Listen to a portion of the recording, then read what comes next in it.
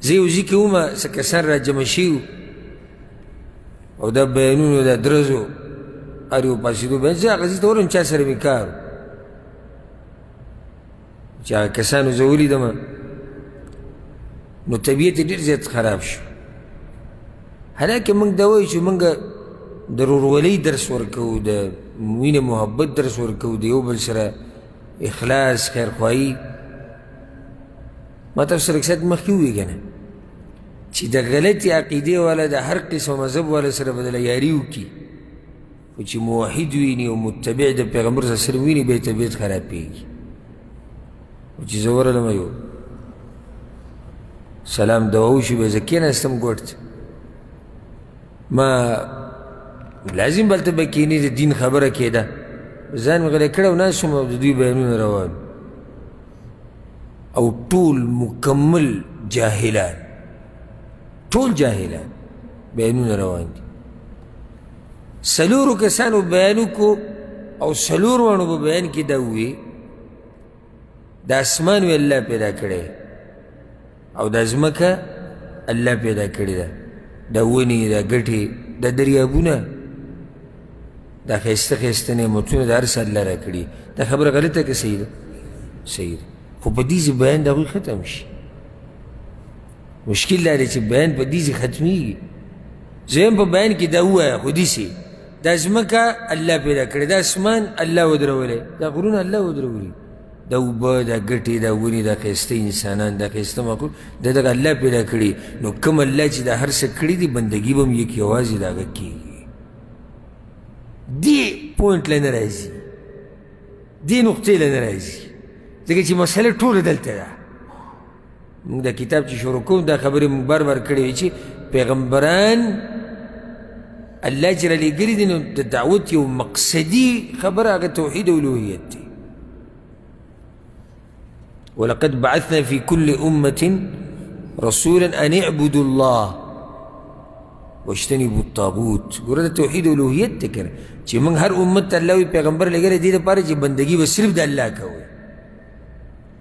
او د غیر الله د بندګۍ نه به انکار کوو نو بیا هغه یو پکې لکه دي چې حیا غوندې کول نو نازړه غوندې کوي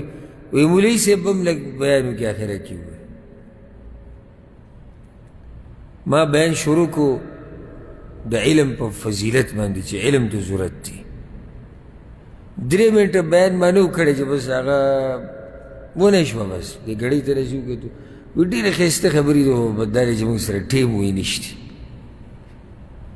ټیم نشته مخکې موږ ته کار دی نو دا ولې زما دا څه کار دی دا زه څه کوم دې بیت ته کېناستل دین نه دی نه وي موږ سره چې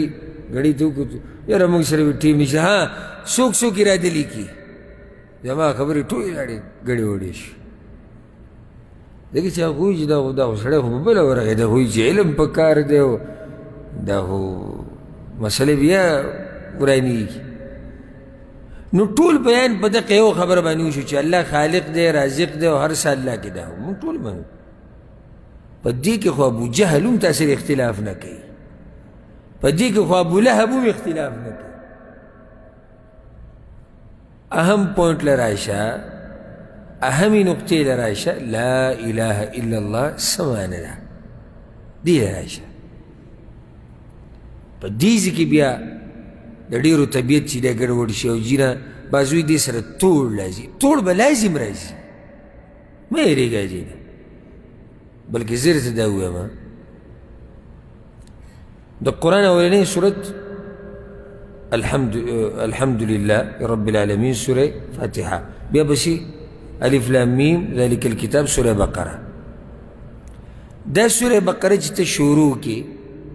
په دې اولنی آیتونو کې الله وایي وی خلک درې قسمه دي یا به سوچه مسلمانانی یا به منافقانی یا به کافرانی دا تقسیم چا وکړو الله وکړو نو ته څنګه وایي چې توړ مه راوړه توړ به راځي چې نظریه بدلوي عقیده بدلوي توړ به نه راځي اوس زه د دې جوړ د پارسي چلو کوم یعنی هغه صحیح دین پرېږدم نو جوړ راوسته په کار دي خو په څه باندې په قرآن او په حدیث باندې ښه ښکلی جوړ به راځي راځه زه بر بر دا خبره کوم زموږ د اواز بوخ شو په دې دعوت باندې او زما د اواز چې کم ځي ته رسي ویې رسوي او په څه طریقه چې رسوي ویې رسوي زه د دنیا هر هغه سړي ته وایم چې هغه دا دعوه کوي چې زه مسلمان یم او زه کلمه یم زه ورته یم راځه د قرآن او د حدیث په دسترخوان باندې کینو اتفاق راولي راځه خو قرآن او حدیث په منځ کې ږدو ته ګورې چې جوړ راځي که نه راځي خو ته څنګه جوړ راولې جوړ څنګه راویلي ستا نظریه جدا زما جدا د جدا د هغه جدا ستا امام جدا زما جدا د جدا د هغه جدا ستا کتاب جدا زما جدا د جدا د هغه جدا ستا امیر جدا زما جدا د جدا د هغه جدا دا خو داسې نقلي جوړ دی دا ټینګېږي نه کمثل العنکبوت اتخذت بیته جولا د کور په شان دی که معمولي سیلۍ پرې راله نو هر څه به صحیح هر څه به ختمي